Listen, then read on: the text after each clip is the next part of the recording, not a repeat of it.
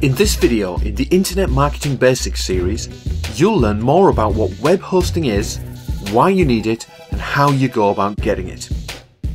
Since you're watching this video, you clearly know already how to browse the internet, but do you know what happens when you type a web address into your browser?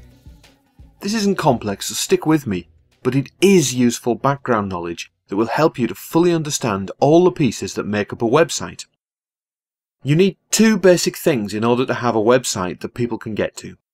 You need a domain name, which we talk about in another video in this series, and you need something that the domain points to in order to deliver web pages. In fact, all this something really is, is a computer that's permanently connected to the internet through a fast, reliable connection. In theory, you could host a site at home, and indeed many of us used to do just that. But that's not really practical for most people these days, and certainly not if you intend to grow a successful, highly visited site. I find the easiest way to think about these two things is to compare it to your home. You have an address, you have the home itself, and you have all your furniture and possessions.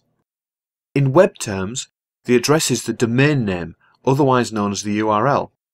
The house is your web host, the physical server, and the stuff in your house is all the files that make up your website, such as the pictures and the pages.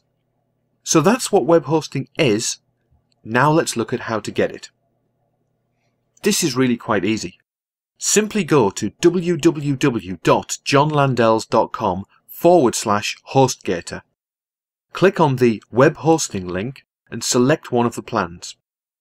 My recommendation would be to go for the baby plan, as it allows you to have multiple websites. When you get to the checkout, use the coupon code IMWithJohn to get yourself a discount of $9.94 off any hosting package.